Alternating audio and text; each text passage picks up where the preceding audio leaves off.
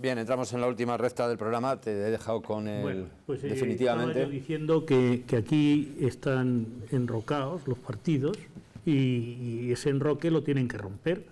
Y lo tienen que romper. Y yo creo que todos hablamos de la corrupción y la corrupción es de, de todos los partidos. Ahí no me vale, eh, aquí no me vale tú más y yo más.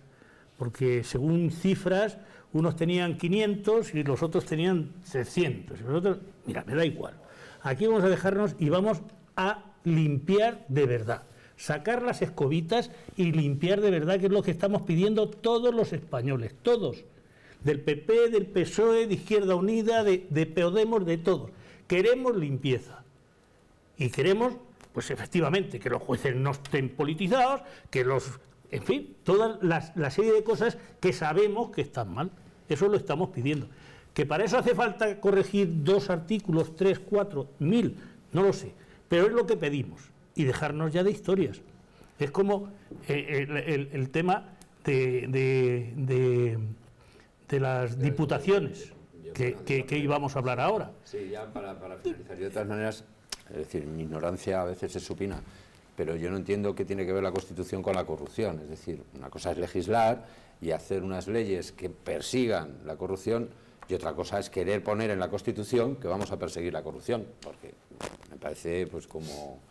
Sí, es decir, sí. eh, elemental, mi querido Watson. Es decir, o sea, la, la es que Constitución.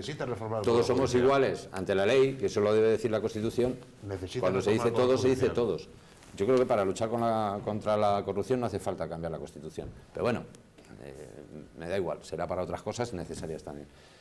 Diputaciones. ¿Qué pasa con las diputaciones? ¿Qué os pasa a los ciudadanos con las diputaciones? No, yo... Bueno, ah, perdón, a ciudadanos. A ciudadanos. no, a los ciudadanos. No, desde, desde Ciudadanos siempre hemos pensado que las diputaciones eh, sabemos que hacen un trabajo imprescindible para muchos pueblos pequeños, eh, pero que también son lugares en los que se posicionan amigos o gente que no ha salido o gente eh, propios concejales que iban para alcaldes y no han podido ser o no, en fin. eh, a nosotros no estamos en contra de... que sirven para el nepotismo. Son Sí, podríamos llamarlo así. Sí, Digámoslo Eh, claro. sí. Decir, No, pero aquí donde viene también un poquito a colación decir que aunque estamos en contra de, esa, de esos cargos eh, públicos puestos por votaciones de- dentro de los mismos eh, partidos políticos, no, no abiertos al funcionariado, pues es que en eso se va mucho dinero que es innecesario gastar, porque para eso tenemos otra serie de, de como la Junta de Comunidades o otros serie de los mismos eh, ayuntamientos, las delegaciones, hay muchas cosas y al final eh, ese dinero puede seguir fluyendo de manera normal y habitual a los ayuntamientos sin necesidad de mantener una institución que nos gastamos en ella o, se podría llegar a ahorrar en ella 5.000 millones de euros. Entonces, yo creo que en estos momentos no estamos para derrochar, sino estamos para aplicar una eficiencia, ahora que está tan de moda la eficiencia energética, pues una eficiencia al gasto público y yo creo que eso pasa por suprimir las diputaciones, no así la gente que trabaja en ellas, ni así tampoco las ayudas que llevan a cabo en todos, en todos los pueblos, que son muy, muy necesarias. es que eh, las eh, comunidades autónomas, eh, por decirlo de alguna manera, cojan a esos funcionarios. O sea, se haga como se hizo una transferencia en su día entre el Ministerio a las Bueno, comunidades autónomas. eh, desde Ciudadanos eh, desconocemos cuáles sería también... 6.000 despidos. No. Eh, no, en el caso no. de Toledo, por ejemplo. no, Aquí lo que está claro, lo que está claro sería eh, también ver cuál sería la forma más idónea, seguramente no sería de forma rápida, sería de forma paulatina, dónde irían, cómo irían. Lo que estamos poniendo eso encima de la mesa es un problema que hay, que hay que buscarle una solución y que algún día hay que empezar con ella. Y al fin y al cabo las diputaciones todos sabemos para lo que sirven. Nosotros eh, tenemos, tenemos la suerte de haber sacado un diputado por Toledo, conocía el programa electoral eh, perfectamente de Ciudadanos y sabe también él y está de acuerdo que esto no puede continuar así, sino que las diputaciones tienen que eh, desaparecer y eh, un órgano nuevo, con, he visto que en el pacto viene una especie de consejo de alcaldes o algo así, para que el dinero siga fluyendo de manera normal y como se está haciendo a los pueblos, pero que no suponga un gasto extra de la burbuja política española. Simplemente es eso. Bueno, es, obvio que, las diputaciones, entre otras cosas, han servido para crear unas redes clientelares de los partidos cuyo ejemplo más insigne, o cuyos ejemplos más insignes creo que están en Valencia y en Andalucía. Eh, el, el, cuasi levantamiento de los presidentes de la Diputación eh, andaluces cuando se aprobó este, este acuerdo entre Ciudadanos y el PSOE, que por cierto Pedro Sánchez ni ha citado las diputaciones en el discurso de hoy, lo cual es bastante significativo, eh, obviamente es porque mm, la red clientelar andaluza a través de, las diputaciones es una de las cosas que mantiene vive un poco al PSOE en Andalucía. En Valencia no quiero ni contar lo que han sido las diputaciones. O sea, los tres focos de corrupción mayores de, Valencia estaban en las diputaciones. Carlos Fabra. En, en Galicia, el famoso señor Baltar en Ourense, era el típico cacique con una estructura caciquil totalmente, en Orense colocando a todo el mundo a dedo. Yo creo que en este sentido las diputaciones no sé si tendrían que desaparecer, pero aquí hay que buscar otra forma de gestionar los recursos a los pequeños pueblos de poblaciones, o sea, de, zonas despobladas de regiones, por ejemplo aquí en España, aquí en Castilla-La Mancha es imprescindible. Que lo pueden asumir, yo no creo que haya ningún problema para que esas competencias las asuman las delegaciones de la Junta o fundamentalmente la estructura autonómica de, la región. ¿Para qué queremos esto? Aparte, obviamente, para colocar, a, como decíamos antes, una serie de políticos que a lo mejor se quedan en fuera de juego. Bueno, hay otras cosas también que pasan en, diputaciones. Eh, yo recuerdo hace años que, a mí me comentaba un diputado de donde yo vivía antes, en Cuenca, de mi, de mi provincia, en la que decía que, bueno, que las diputaciones todos los años quedan unos remanentes que no se gastan y que después se utilizan para otras cosas y que casualmente solo se enteran los del partido del color que gobierna mayoritariamente, o por lo menos a tiempo para poder acudir a ellas. Es decir, que los otros ayuntamientos que son de diferente color político nunca pueden llegar a esos remanentes que se recolocan después o se ponen a disposición de, porque ya cuando llegan ya no queda. Es decir, cosas, claro, que, que, suenan raras, suenan al menos algo rancias. Sí. Que, bueno, efectivamente las diputaciones, y como bien ha dicho, y sobre todo en Andalucía y en Valencia, efectivamente, pues ha sido un ejemplo de, de, lo que del enchufismo aquel antiguo de antes. Ahora con color de mi partido, luego cambia de color y traigo los míos, etc, etc. Contratos temporales, contratos no sé qué, que se sacan de la manga, y eso es lo que no puede ser.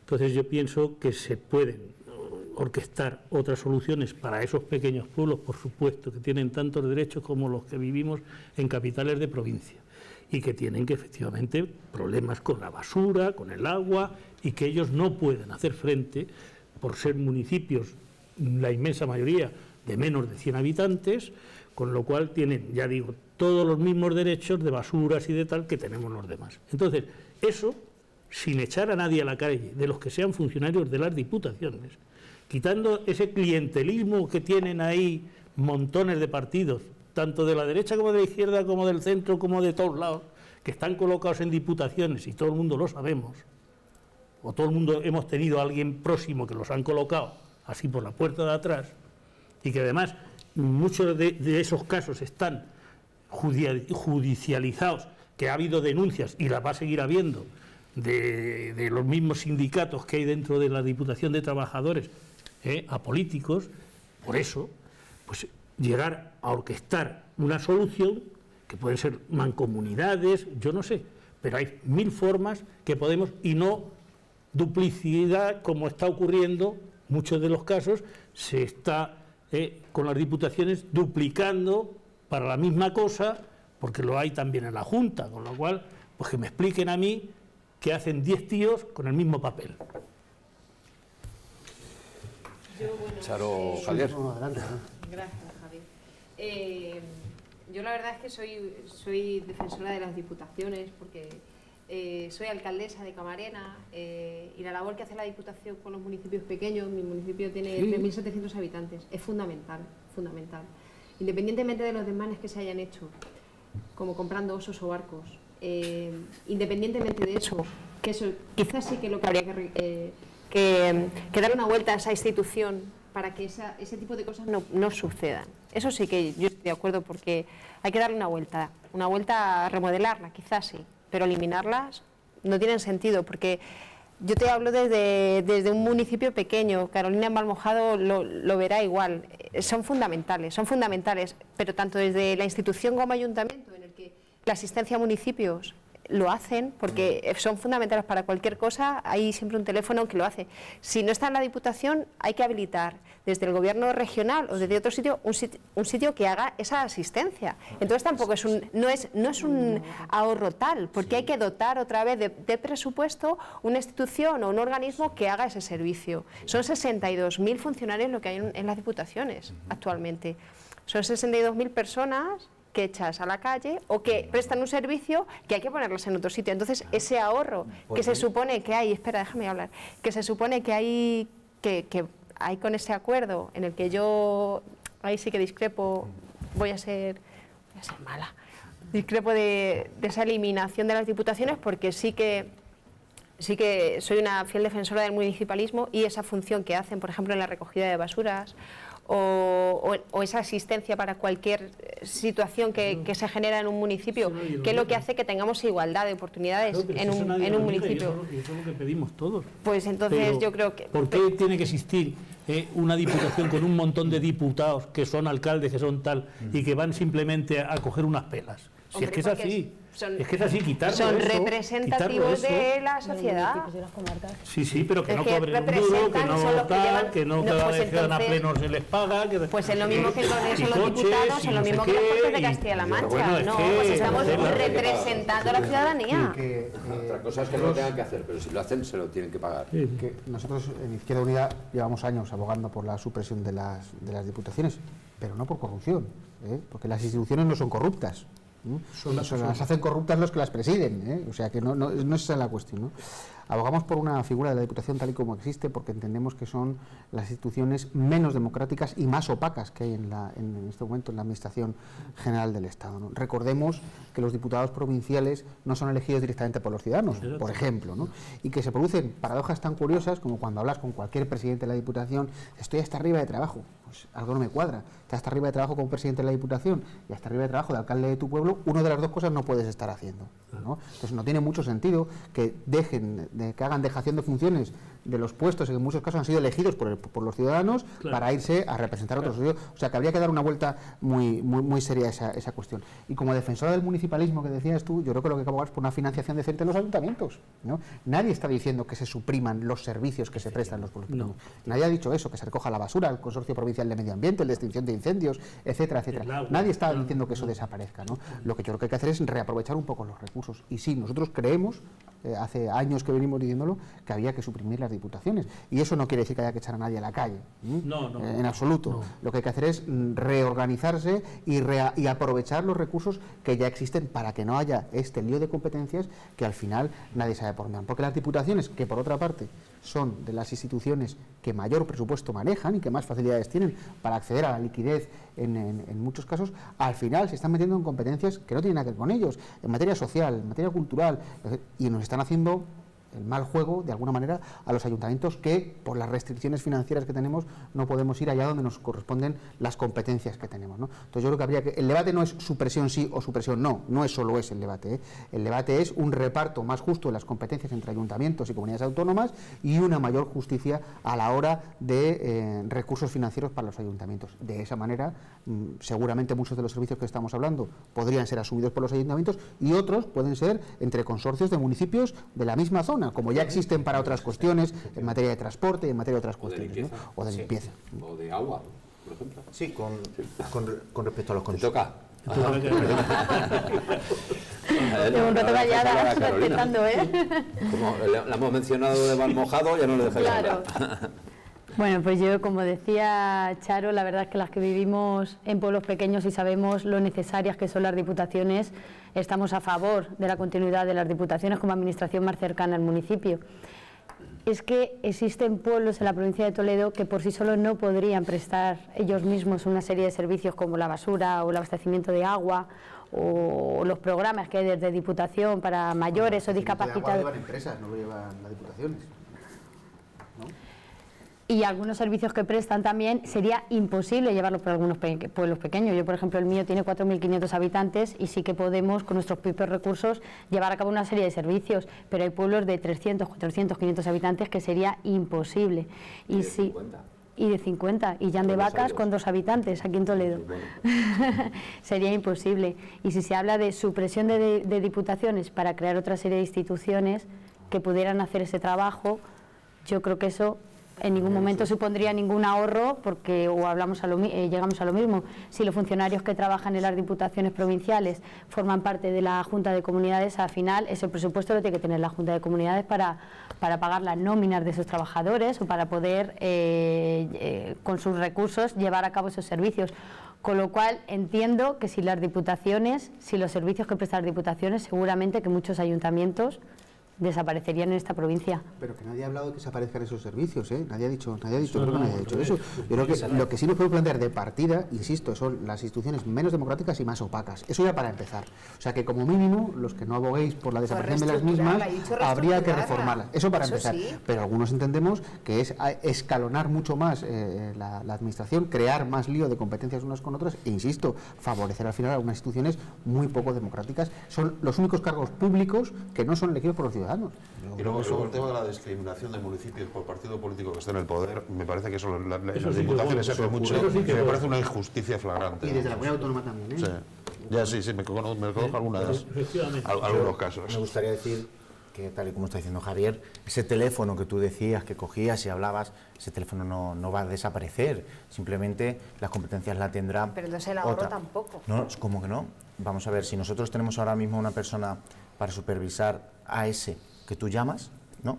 Alguien político, un agente... Bueno. Sí, no, pero en estos momentos las diputaciones tienen su presidente de diputación, tienen sus diputados, ¿no? Cuando ya tenemos unas cortes. Cuando ese trabajo lo podrían estar haciendo ellos. Es un ejemplo, ¿eh? simplemente, de, supervisar. Estamos hablando de, quitarle peso a la burbuja política que se ha ido creando, al clientelismo, como bien decía nuestro compañero. Yo creo que... Pero es que no estamos hablando de burbuja política, estamos hablando de, servicios. No, no, no, pero es que los servicios... No, pero el, servicio más cercano, el servicio más cercano que tenemos en un municipio es la. Vienes a exponerme que, que los servicios se van a, van a desaparecer, eso no es cierto los servicios, el dinero va a seguir fluyendo y van, los servicios van a llegar a, a, los pueblos más pequeños, porque son los que más lo necesitan y porque es la, la, labor fundamental que lleva a cabo una diputación. Si desaparece la diputación, no desaparecen lo que, los, lo que necesitan esos pueblos. Es, vamos a hacer que las diputaciones sean un organismo perteneciente a la Junta de Comunidades, que las decisiones, que en vez de tomarlas los diputados y los alcaldes, la toma el Consejo de Gobierno de la Junta de Comunidades, pero todo lo demás sigue igual, algo así. Bueno, el, formato técnico, el formato técnico yo creo que tiene que eh, no hace falta que haya plenos en las diputaciones para aprobar las cosas, no hace falta que haya diputados y no hace falta que haya presidente. Ya para eso están los diputados regionales y el presidente autonómico. Y evitar duplicidades. Una duda, algo así. Una duda, espera, José Luis, una duda para que me la aclaren. ¿Vosotros no habíais pactado por escrito que desaparecen las diputaciones? Sí. Ah, vale, vale. Que yo he dicho al principio que, iba a ser mala. Me he despistado. Te lo he dicho antes ya. me ha llamado mucho la atención también. Sí, que yo he dicho que yo estaba a favor de... Creo que no has entendido... A ver es que, los no, que los servicios hay que prestarlos. Y me da igual sea un habitante o sean mil habitantes. Pero eso lo he dicho yo también, ¿no? Pero es lo primero que me he dicho yo en mi intervención. Lo que hay que quitar... Que no, que no haya entendido, yo lo entiendo perfectamente. Por eso, pues, pues entonces, no hay que... Eh, no sé qué miedo hay a que tú o usted, como alcaldesa de ese pueblo, no se siente en una butaca a, a qué si, si el funcionario sabe de sobra que Balmojao necesita 10 millones de euros para sus programas tal, tal, tal que ha mandado y que están ahí? ¿O es que es necesario que usted le dé el visto bueno? ¿Me está usted diciendo eso? que yo digo. Pues es que, es que, yo, yo, creo que yo creo que o, no, yo no, recuerdo haber dicho nada de eso. por eso entonces qué miedo hay en quitarlo. ¿Qué miedo hay? ¿Qué, qué miedo como en Andalucía a que pero que el miedo, el único, vamos a ver, el, yo he dicho que habría que remodelarlo, sí, para evitar, para evitar desmanes con dinero público, efectivamente. Yo lo que digo que las diputaciones y yo como, como alcaldesa de un pueblo pequeño, para mí es muy útil porque me presta muchos servicios. Pero si nadie ha Yo dicho es lo que único se que he vaya dicho, es lo único que he dicho. Yo no he dicho nada de butacas ni tener que Claro, dar el es visto que bueno ni nada de eso. Es que parece ser pero que he dicho yo ser- cosas. No, no, pero es que parece O lo ser he soñado, no que, lo sé. Que, que- que el no querer el que quitar las diputaciones es por ese motivo, porque ¿qué otro motivo hay? Que me lo lo que hay que expliquen. garantizar es que los mismos servicios se Claro, Claro, Pero que- pero si lo que se yo está hablando que- es ningún problema. porque vamos a ahorrar no sé cuantísimo dinero, Creo que estamos pero si hay que volver a que seguir prestándose, a lo mejor el ahorro, no lo sé. A lo mejor estoy, pero bueno, que no es. Yo no he dicho yo- nada de eso de lo que usted ha dicho que, que no, que yo lo que no digo es que es que creo que es, eh, como bien han dicho en la primera intervención, es un, un sitio donde un refugio de montones de gente de un partido o de otro y luego lo que es denigrante y, y me parece fatal es que dependiendo del color que sea la diputación, el pueblo que tenga la alcaldesa de un color u otro recibe más o recibe menos. Bueno, señores, nos quedan cuatro minutos, por Vaya. cierto, y ya para eh, enfriar un poco el braserillo. Sí ¿Qué les ha parecido el Oscar? Los Oscar. Uy, precioso, sí. Ahora dice, no me gusta el cine, ninguno, achacan todos aquí. Y me quedo yo hablando. Yo es que de las, de las películas que ah, se presentaban como candidatos he Ande un Oscar a un español, eh, que lo sepáis. ¿A quién? Ah, sí, por fin. Hay un español que ha recibido un Oscar dentro de los premios. No lo sé, sabía que había tú. algún... Secundario. Digo, Sí. por De- vestuario, Ah, creo, ¿no? secundario. O de vestuario. De vestuario. De vestuario. Un Pero me español, parece sí, que no se lo vestuario. ¿eh? No lo sé. El caso es que solo he visto una, que es eh, que la, la- la de Spielberg con Tom Hanks, la de... ¿cómo no? Ahora Puente que- de los Espías. El Puente de los Espías, que me parece una película excelente. Las demás no tengo ni idea, no, no las he visto. Pero bueno, hasta Creo que la de Spotlight me han dicho Leonardo DiCaprio bien. un Oscar o no os parece? Sí, hombre, hombre, Pues eso- no, eso era- claro que se lo era merece. los Oscar, ¿no? Sí, la la quinta vez, a la quinta va la vencida. Yo me reconozco mm, seguidor del cine, pero reconozco que lo de los Oscars es una cosa que no, que no me ha llamado, pero no por nada, que no, no me llama demasiado la, la atención. Yo creo que es un poco lo mismo todos los años. Yo soy de los que al día siguiente, en un periódico en papel o en, en lo digital, pues busco a ver, ah, a ver cuál me suena, cuál no, y ya está. No, reconozco que no. Que no esto, creo que es el- la- eso sí, ya me, me mojo. La Academia de Hollywood ha tenido el buen gusto de no premiar la carrera cinematográfica de Sylvester Stallone, creo. Sí, no lo ha tenido. No, no. Y eso sí me parece un acierto. Eso sí me parece un acierto. De lo demás no tengo mucho que decir con respecto al- a los Oscars. ¿Algo más que añadir? No, y del mismo modo conozco por la prensa también un poquito lo de Leonardo DiCaprio, que es lo que más ha sonado en la prensa estos días y bueno, yo creo que un buen actor y merecido no son ellos los expertos, así que que decidan ellos. Presuntos, presuntos. Presuntos Me expertos. temo que eh, las televisiones generalistas de este país van a empezar a, a achacarnos con películas de Leonardo DiCaprio lo que resta de año, aprovechando la ya, ya he visto algún anuncio que otro por ahí. Alguno. Leonardo DiCaprio, me acuerdo de una anécdota, que llevaba ya el paso, llevaba el camino de pasar lo que le pasó a Paul Newman. Sí. que eh, le nominaron, me parece que fueron ocho veces, no lo consiguió. Y a la novena ya le dieron el Oscar y entonces no fue.